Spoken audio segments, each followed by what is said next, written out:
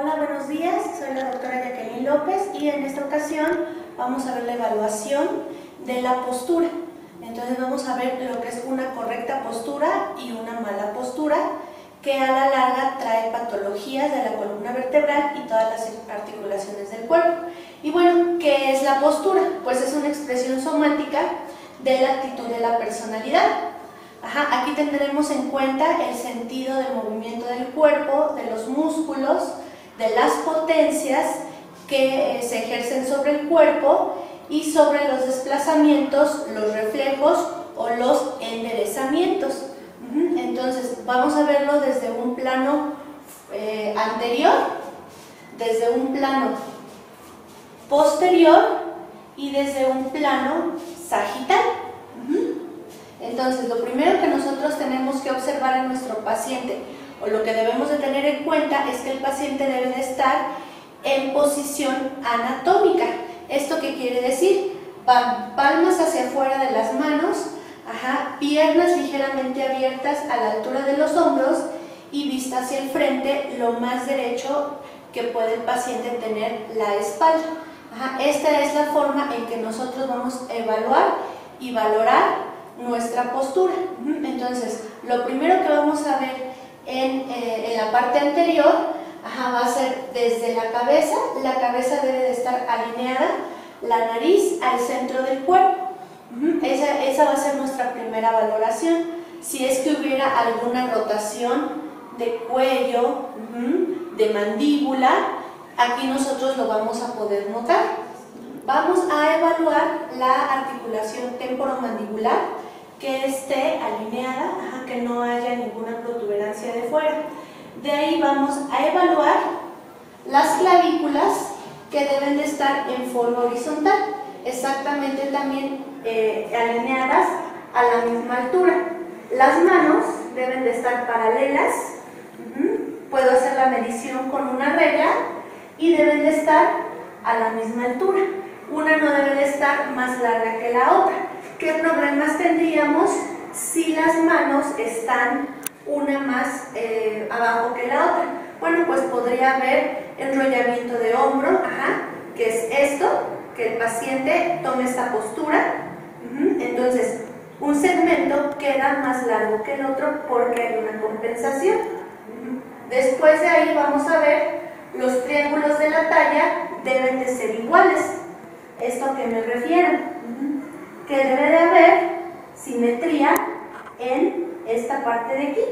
También, si no hubiera simetría, si, una, eh, eh, una protuberancia estuviera más arriba que la otra, entonces tendríamos, o el paciente estaría así, y habría enrollamiento de cadera o vascularización de la cadera. Después de ahí vamos igual, nos bajamos un poco Vamos a evaluar las crestas ilíacas que de igual manera deben de estar a la misma altura. Igual puedo utilizar una regla o yo me desplazo lejos y desde aquí veo si el paciente no está vascularizado de la cadera. En este caso, la paciente, si ustedes se fijan, tiene una pequeña vascularización de la cadera de este lado. Este está más abajo, este está más arriba. Lo que hace la cresta es proyectarse hacia adelante y dar el efecto de que, eh, de, que esta pierna está más larga y esta, esta pierna más corta. Ok, también debemos de ver la parte superior del fémur, debe de ser horizontal. Ambas rótulas deben de estar a la misma altura Ajá, no debe de haber igual desplazamientos. Puedo exactamente igual hacerme más hacia atrás, checar la postura del paciente y ver si hay algún desplazamiento de la rótula o alguna está más arriba que la otra.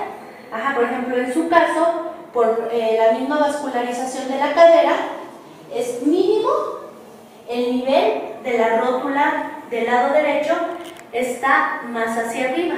Ajá, pero no tiene ni proyecciones ni lateral interno ni lateral externo.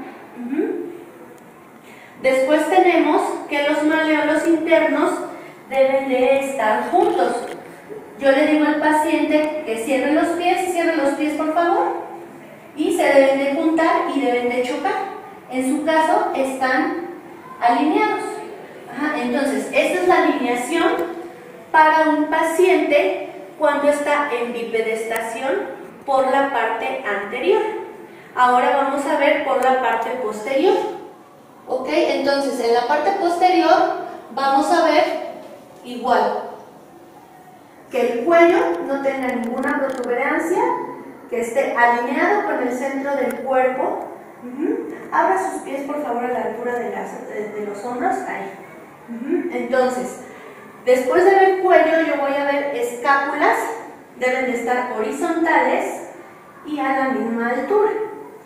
Si es un paciente que tiene eh, más masa muscular o más masa, más masa grasa, lo que yo voy a hacer es que el paciente lleve sus dos manos hacia atrás. Entonces, las escápulas se proyectan y yo puedo ver si están en la, a la misma altura. En el caso de la paciente, están a la misma altura. la proyección es normal. Después de ver las escápulas, yo voy a presionar con el dedo o se marca con un lápiz la parte que se toca de las vértebras en la línea, haciendo una línea vertical. En la columna vamos a valorar qué tan alineadas están las vértebras, que ninguna vértebra esté rotada o proyectada de parte lateral, de parte posterior o en la parte anterior. Lo que se va a hacer es ir tocando cada apófisis eh, de la vértebra y vamos a ir marcando con un plumón o con una pluma y al final esos puntos que nosotros vamos a ir marcando al unirlos deben de hacer una línea vertical. Entonces yo voy a ir tocando las apófisis espinosas de mi paciente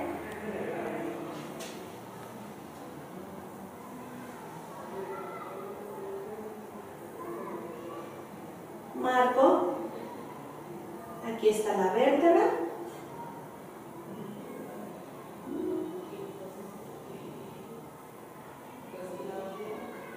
las apófisis laterales, apófisis media, y esto debe de quedar a la misma altura, exactamente igual en la siguiente vértebra. aquí tengo la apófisis, marco, busco las apófisis laterales, marco,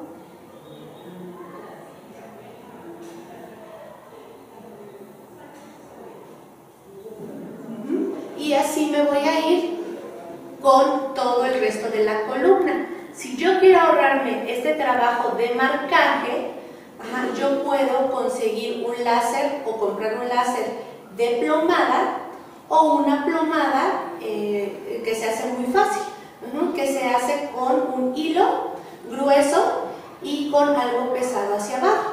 Ajá, queda, esto queda como un péndulo. Si yo lo pongo de esta manera, ese péndulo debe de quedar exactamente a la mitad. Si el cuerpo está desplazado hacia algún lado, la plomada me lo va a hacer ver pero también el marcaje es muy efectivo cuando queremos realmente explorar a fondo la columna vertebral. Después de esto, vamos a ver que los glúteos deben de estar también en forma horizontal a la misma altura. Entonces, la línea glútea es la que me va a marcar dónde debo de medir.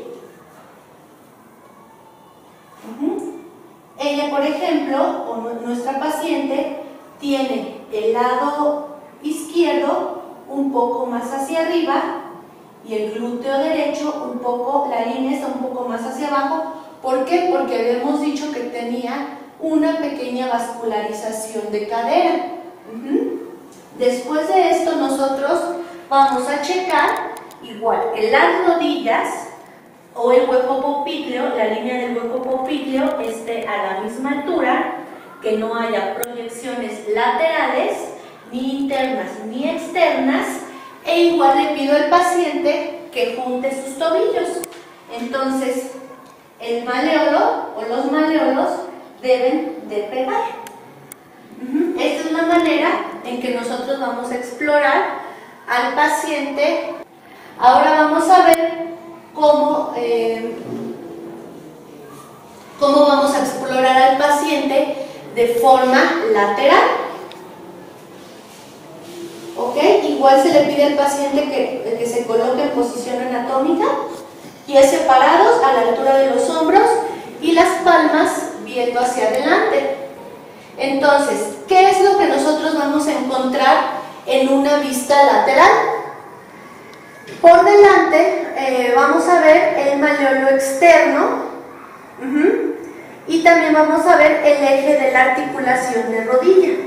¿Ok? Entonces, está el maleolo externo y este debe de estar alineado con el eje de la rodilla.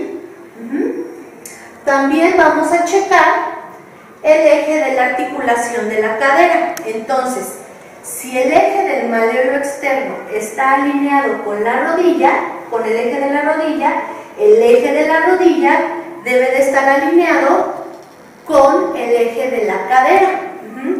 Exactamente igual aquí nos puede servir la plomada.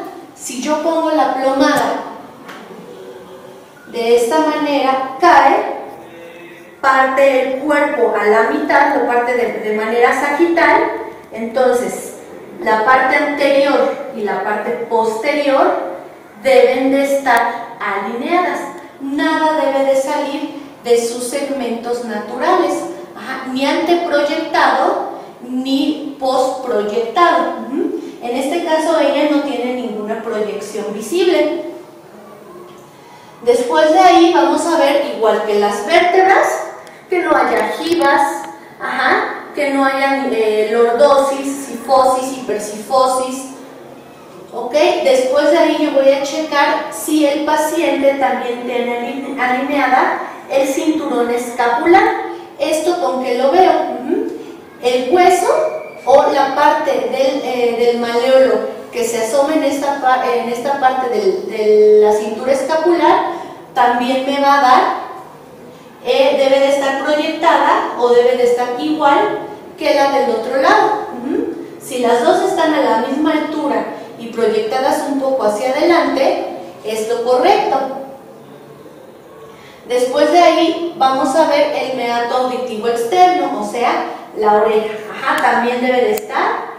Si yo la parto a la mitad con la plomada, no debe de haber proyecciones, no debe de haber eh, tumoraciones, eh, ni ninguna otra patología para considerar al paciente sano. Y por último de ahí vamos a ver la sutura coronal. Esta debe de ser igual. Entonces, si yo tengo mi plomada, la plomada queda de esta manera y debe de estar a la misma altura de los dos lados. Si el, paciente proyecta hacia adelante, si estuviera así, sería alguna patología cervical o hacia atrás, ajá, también tendríamos que ver qué tipo de patología está presentando el paciente.